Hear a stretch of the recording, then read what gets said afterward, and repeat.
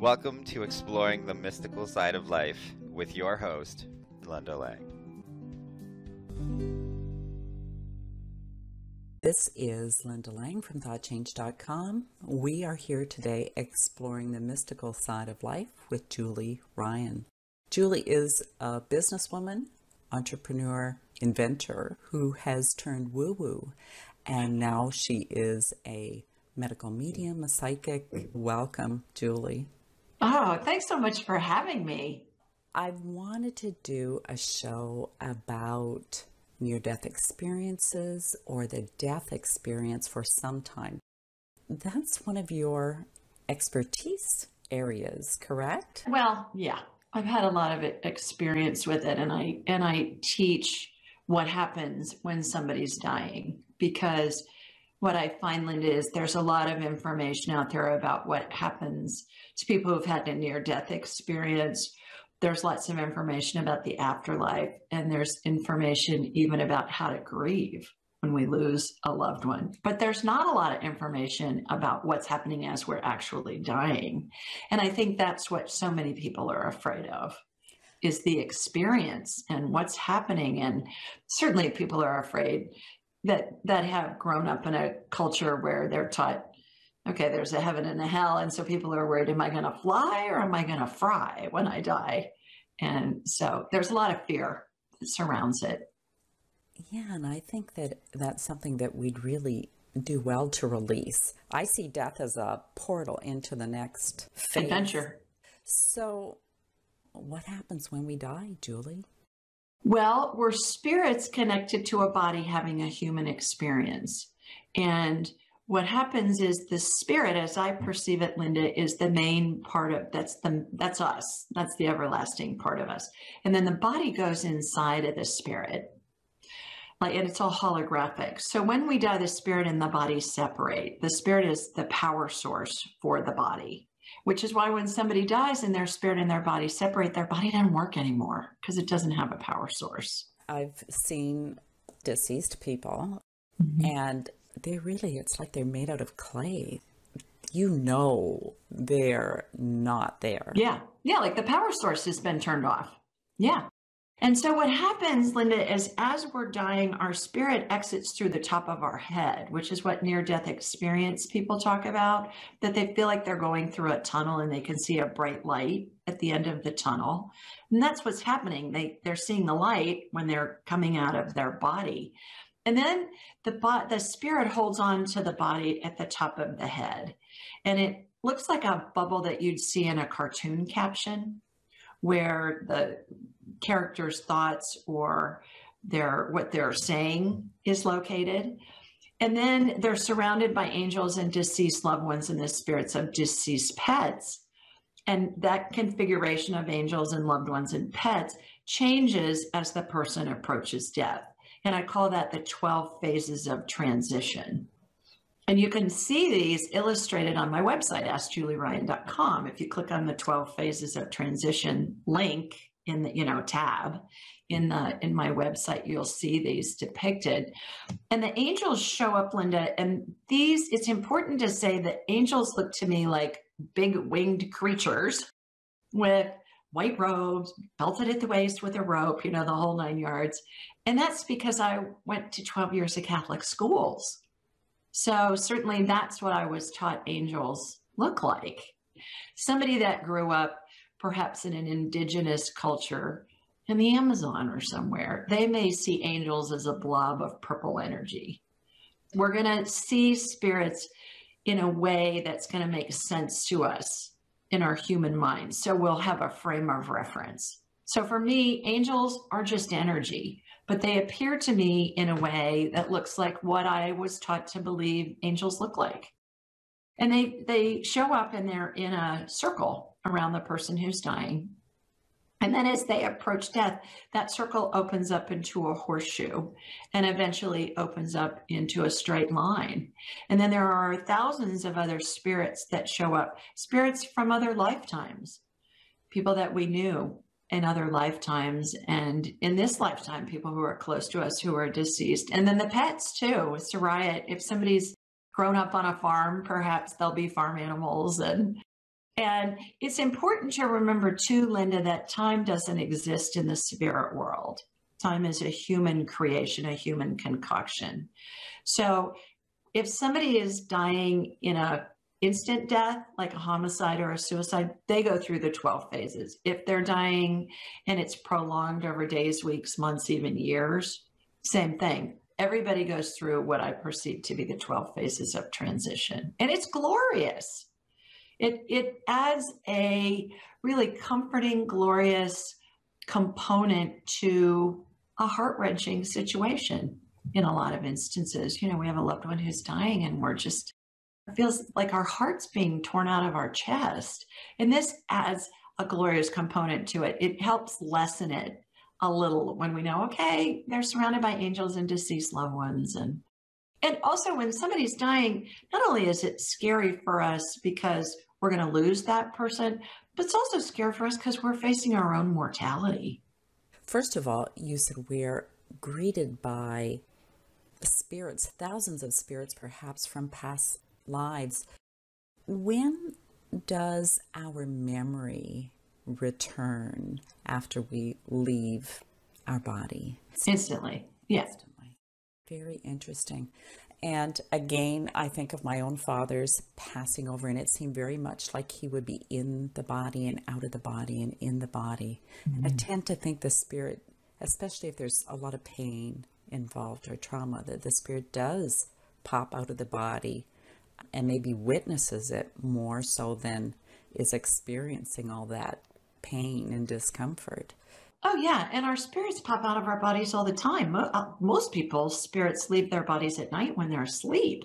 And we do what's called astral travel. So the other time, Linda, that's funny when I see people that have their spirits have separated from their bodies is when somebody comes back from surgery and they're oftentimes under anesthesia. They haven't woken up yet and the spirit will be flying around the room and having a big time, kind of like reminds me of the cartoon Casper the Friendly Ghost. And, and it's not that they are separating for good, it's just they're temporarily having fun out traveling around. That might explain why we wake up tired some mornings.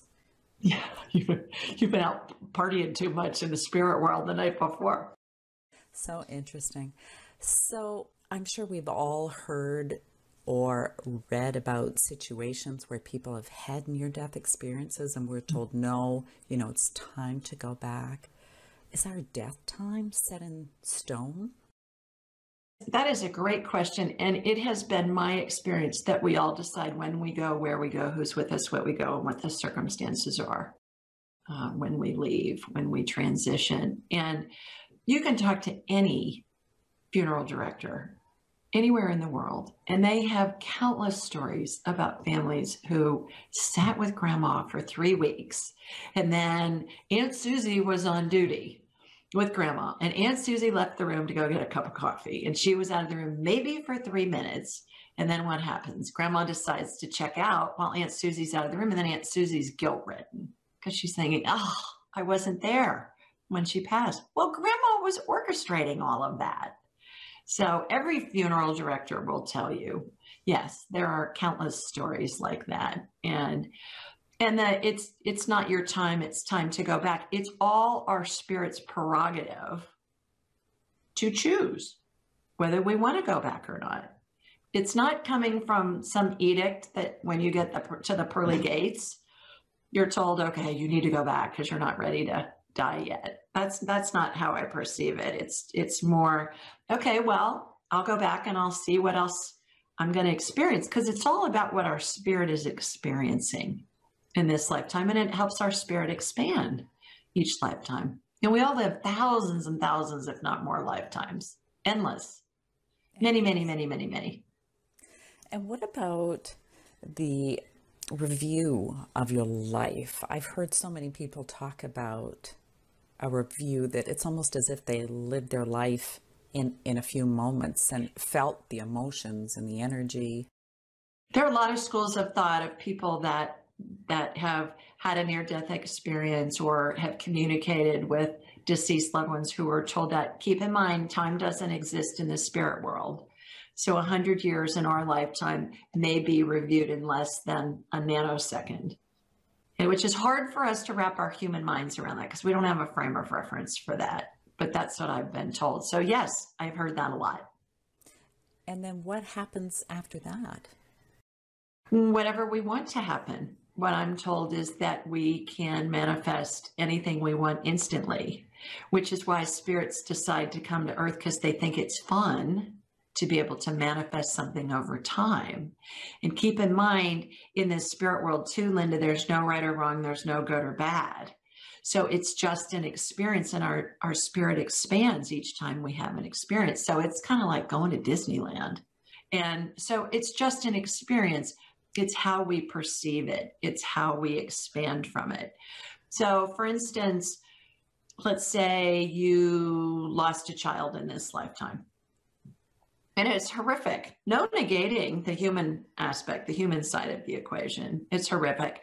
But perhaps in a past life, you were the child that died and you wanted to feel what it was like to be the parent of, or you were the sibling of, or the friend of, or the grandparent of, or whatever. What I find is that a lot of times we'll repeat scripts and we'll look at it from different perspectives so that we can see all sides of the equation to learn okay, well, when I was the child that died, this is what it felt like to me, but I can't imagine what it felt like to my mom. So I'll come back next lifetime or, or, in a subsequent lifetime where I lose a child so that I can explore what it feels like to be the parent who loses the child. What about karma? Karma is not I don't believe what we've been taught it to be kind of like, you know, if you're bad in this lifetime, you're going to come back and you're going to suffer in a future lifetime. Because again, there's no right or wrong, there's no good or bad in the spirit world. It's just an experience. Karma, as I perceive it, Linda, is more of we come in with a basic script of something that we want to explore. Let's say you want to be a teacher. Well, there are about a bazillion ways that you can be a teacher, right? Not just in a classroom, in a we're, school. We're all teachers. We're all teachers, absolutely. Every parent, every every person is a teacher in some way. And so that's where free will comes in. We get to explore whatever we want and we'll look at it at different nuances. You may have many, many lifetimes where you're a teacher, but you're a teacher in a different capacity. And so we'll have these scripts that will repeat through multiple lifetimes with lots of subscripts obviously involved. And an example that I use is imagine there's a, a movie. Well, one, uh, A Star is Born was out a couple of years ago with Lady Gaga and Bradley Cooper. That was a fourth remake of the same script. I saw that movie when I was in high school with Barbra Streisand and Kris Kristofferson So different timeline, different location, different cast of characters, oftentimes different gender same script, looking at it from a different perspective. But this is from a soul level. Yeah. Does our human self have any say in it? Oh, absolutely. That's where free will comes in. Yeah. Yeah. Your your spirit wants to come in and explore being a teacher and then your your humanness is saying, hmm, maybe I'll teach music. Maybe I'll teach dog tricks to pets. Uh, it, it really is endless how we can choose to explore whatever that script is. Frankly, I have founded nine companies in five industries. I came in obviously as a creator. It's still the basic script. I'm going through my life creating things just in a different capacity. And so, Julie, what about people that have like really, really challenging, challenging lives and a lot of trauma. Does their spirit need like rest time when they get to the other side or healing? My sense of this is no, because it's all a human experience. So the spirit is here to have an experience. Again, it's not good, it's not bad. We see things as horrific in our humanness. I don't even know if that's a real word, but I use it. And we don't know what that spirit has experienced in this lifetime leading up to these horrific events, let alone in many past lifetimes. So, like the example that I used before, if you lose a child, somebody is going through a horrific experience. Maybe in a past life, they were the parent of, the sibling of, the spouse of, the friend of, the caregiver of, whatever. And they want to explore in this lifetime what's happening. And when we look at it that way, Linda, I think it helps us really be accepting of things that we we can't control and we don't want to control it because that's what that person has chosen to experience what happens is we feel badly about it so it's more about us than it is them which sounds selfish and it's not it's just human nature but for instance when we have a loved one who's dying we're addressing our own mortality, whether we're aware of it or not. We're like, oh God, we're going to be there someday. And and so things that are horrific, if we can look at it from it's benefiting that person in some way, again, not to negate how awful it is from the human perspective, but what I do is I say, hmm, wonder how that's benefiting that person's spirit. And it helps negate the negative bad feelings that I'm feeling, which really have more to do with me than it does with that person. The other thing I think that's important to remember too, Linda, is that emotions are our, A R E O U R, are our internal GPS system. So our spirit is pure love, which feels good. It at least feels neutral. When we feel badly about something, even boredom, boredom, anger, jealousy, fear, whatever. That's our spirit saying, hey, you're out of alignment. Look at this from a different perspective. So that ends up being really handy. And if I'm watching something on the news and I see something really awful happening, I'll immediately go to my human side and say, oh my God. And I feel terrible. And then I say, okay, but it's benefiting them in some way and then it gets me back to neutral, gets me back in alignment with my spirit. Doesn't mean you got to be zippity doo dah day and down the street. It just means that you're in alignment with spirit, and that's how we expand and we go forward, and that's how we get inspiration. That's a lovely tip, Julie. Especially right now, because there's yeah. so much happening in the world that really put a lot of people off balance. I agree. Very good. Very good. So, is there anything we can do to make it easier for people we know, our loved ones, when they cross over, or for ourselves when it's our turn? Absolutely. We can understand that there's a glorious component to it, that the person who's passed, they decided this was the perfect time for them. I think too, when somebody is in the throes of grief, what I say a lot to people, Linda, and what I suggest is think of grief as waves of the ocean. The ocean is calm, and then the wave breaks, and it comes in with a lot of force and a lot of power. And then it recedes, and then it's calm again. So when you're in the throes of grieving, and we need to allow that those waves of grief to come in, picture waves of the ocean. Something will trigger, perhaps you're crying or you're feeling terrible or you're really missing your loved one who's passed. And then know that that wave of grief is going to recede like waves of the ocean, that it's going to get calm. And then, like high tide and low tide, you're going to have times where the grief is really intense and it's just almost unbearable for some people. And then you're going to have times where it gets calm and it's low tide and know that that's going to happen and then over time what happens is it it we don't ever stop missing our loved ones but it certainly gets easier. The the raw rawness of the emotion starts to subside starts to recede like waves of the ocean. And i think it's probably really healthy if you can tap into that sense of respect and honor for that person and their life and, and the role that they played in your life. Exactly. I had a, a client that I was talking to just right before I got on with you, and she lost her stepson to a drug overdose. It was fentanyl. And so we talked to her son, Spirit, and he said it was laced. It was not pure. You know, I mean, it had, it was corrupted and it killed him unexpectedly. And she was very angry that he had let his addiction go in that order. Well, she happened to be an addict, a recovering addict herself. She had been an alcoholic. And so by talking telepathically with her stepson, what came in was this really is giving you the opportunity to look at your own fear about your recovery and not as much about him. And it, it, it, was really interesting how it all made sense to her and it gave her a lot of comfort. It's beautiful work that you do. I personally think that our loved ones do come and visit us and they oh yeah all the time, but sometimes we don't know. Often we don't know.